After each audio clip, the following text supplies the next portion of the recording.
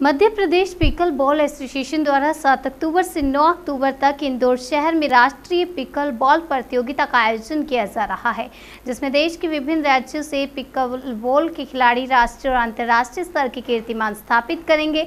Pickle ball को बढ़ावा देने के लिए Madhya Pradesh pickleball association द्वारा इंदौर में होने वाली इस प्रतियोगिता में राष्ट्रीय और अंतर्राष्ट्रीय स्तर पर देश के प्रतिनिधित्व कर चुके खिलाड़ी सम्मिलित होंगे। पिकल बॉल एसोसिएशन के अध्यक्ष अरुण एस भटनागर ने बताया कि इस खेल की शुरुआत वर्ष 1965 में वाशिंगटन में हुई थी, तथा इस समय यह यूएसए में सर्वाधिक लोकप्रिय खेल बन चुका है। यह टेबल टेनिस, बैडमिंटन एवं टेनिस का एक समन्वय है। भटनागर ने बताया कि आईआईएसटी महाविद्यालय परिसर में आयोजित की जा रही इस प्रतियोगिता में लगभग 300 खिलाड़ी महिला एवं पुरुष भाग ले रहे हैं। मुख्य उद्देश्य क्या है? क्या जानकारी आप देना चाह रहे हैं? मुख्य उद्देश्य यह है कि जो हमारा सात से नौ अक्टूबर तक का नेशनल टूर्नामेंट हो रहा है, उसके बारे में आपको बताना था कि हम ये आयोजित कर रहे हैं। और साथ ही आप सबका एक सहयोग भी अपेक्षित है कि इस पिकल बॉल का, के को और बढ़ाने के लिए आप हमारा साथ सहयोग दें और उसको और प्रचारित करें।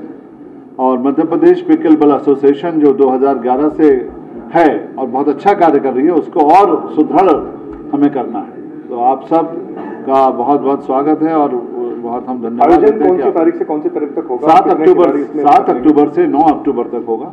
और जैसे बताया कि केवल 16 राज्यों में ये पिकल बॉल एसोसिएशन है। हमारा प्रयास होगा कि सभी 16 राज्यों की टीमें इसमें पार्टिसिपेट करें और हर कैटेगरी में पार्टिसिपेट करें। जो आ, हमारी टीम कैटेगरी है और जो ओपन कैटेगरी है दोनों में पार्टिसिपेट करें। वो अभी ये बातें मुझे बताते हुए हर्ष हो रहा है कि हमने सभी खिलाड़ियों का ठहरने का अभी से समुचित इंतज़ाम कर लिया है और जो आई इंस्टीट्यूट है Indore institute of science and technology वो इसको पूरी तरह समर्थन दे रहा है।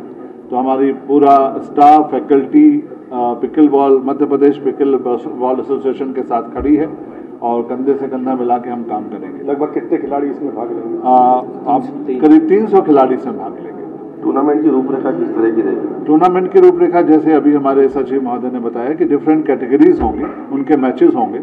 और दो जगह मैच होने की बात है। एक तो आईएसटी जो हमारा कॉलेज है राव पीतमपुर रोड पे वहाँ और एक दूसरा है गोल्डन इंटरनेशनल स्कूल वहाँ पर भी हम व्यवस्था करेंगे जैसे खिलाड़ियों के को अच्छा स्तर मिल सके और उनको अच्छे कोर्ट्स मिल सके।